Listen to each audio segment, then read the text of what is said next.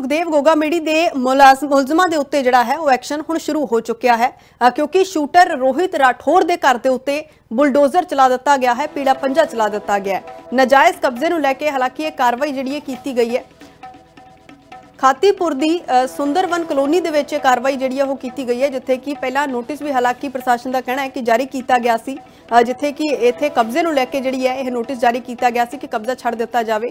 ਪਰ ਜਦੋਂ ਕਬਜ਼ਾ ਨਹੀਂ ਛੱਡਿਆ ਗਿਆ ਤਾਂ ਉਸ ਤੋਂ ਬਾਅਦ ਇੱਥੇ ਪੀਲਾ ਪੰਜਾ ਜਿਹੜਾ ਹੈ ਪ੍ਰਸ਼ਾਸਨ ਦਾ ਚੱਲਦਾ ਹੋਇਆ ਨਜ਼ਰ ਆਇਆ। ਹਾਲਾਂਕਿ ਇਹ ਪੀਲੇ ਪੰਜੇ ਦੀ ਜਿਹੜੀ ਕਾਰਵਾਈ ਹੈ ਉਹ ਪਹਿਲਾਂ ਵੀ ਲਗਾਤਾਰ ਇਹਨਾਂ ਦੇ ਉੱਤੇ ਕੀਤੀ ਜਾ ਰਹੀ ਸੀ ਮੁਲਜ਼ਮਾਂ ਦੇ ਉੱਤੇ ਔਰ ਹੁਣ ਸੁਖਦੇਵ ਗੋਗਾ ਮੇੜੀ ਦੇ ਕਾਤਲਾਂ ਦੇ ਉੱਤੇ ਕਾਰਵਾਈ ਕੀਤੀ ਗਈ ਹੈ।